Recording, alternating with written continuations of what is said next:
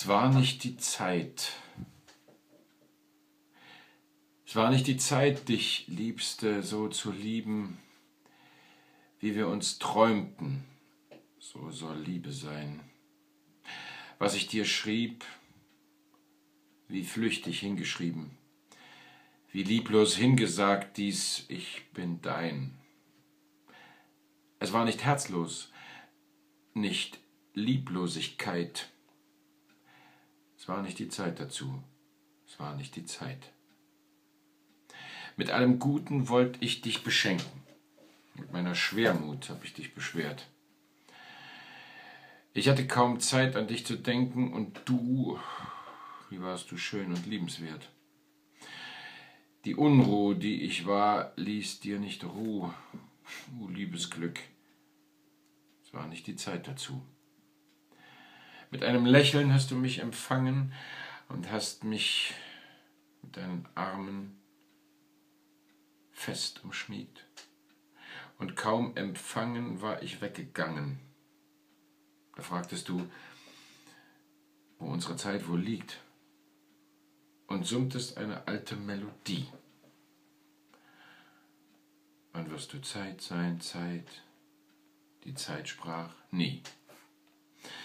Und eines Tages kam ich dir zu berichten von einem Werk, das im Vollenden war. Und dafür, Liebste, mussten wir verzichten auf unser Glück so manches, manches Jahr. Und ist das Werk vollendet ganz, alsdann wird Zeit sein, Zeit. Und du fragst nicht mehr, wann?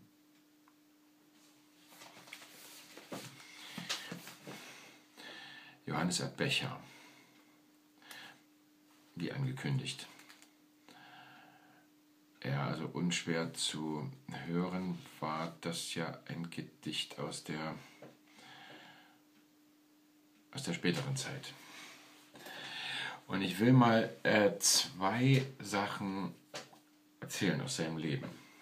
Die eine Sache, er ist ja 19, äh, 1891 geboren und 1910 und 19 hat er aufgrund seiner wirklich schweren Kindheit, also einem jähzornigen Vater, ähm, mit seiner Geliebten einen Selbstmord versucht, einen doppelten Selbstmord. Und das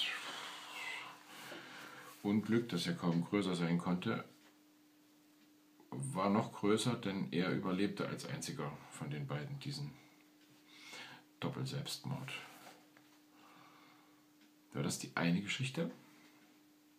Und die andere Geschichte bei ihm ist, ähm, zum Schluss war er Minister für Kultur und sehr staatstreu aus Überzeugung tatsächlich. Und es gab ja so, also nicht nur einen, aber einen berühmten Schauprozess gegen Schriftsteller, waren ehemalige Mitarbeiter von ihm, Wolfgang Harich und Walter Janka. Und da hat er sich äh, auch an Walter Ulbricht gewandt und bekam auch Schwierigkeiten und hat aber, ja, wie so gesagt wird, also der, der Staatsfunktionär hat über den Staatsdichter oder der Staatsdichter hat über den menschlichen Dichter gesiegt. So kann man es vielleicht sagen. Und äh, er hat dann aber am Ende seines Lebens auch einen politischen Einfluss verloren und sich der Sonettdichtform zugewandt. Und das Gedicht von gestern, das war ja in so einer Form geschrieben. Morgen gibt es auch eins davon. Und das heute war also kein expressionistisches Gedicht. Hm, expressionistische äh, Sachen hat er ja wirklich als führender Vertreter dieser äh, Richtung äh, verfasst in seinen Anfangsjahren. Aber dazu morgen mehr. Ich wünsche euch eine gute Nacht. Es ist ja schon wieder spät. Und das war nur für die Statistiker unter euch die Nummer 533. Und heute ist gerade noch, stimmt's? Nein, schon eine Minute. Aber es war, es war der 21. September 2021, übrigens der Geburtstag von meinem Opa, der 110. Geburtstag meines geliebten Opas. Gute Nacht. Bis morgen.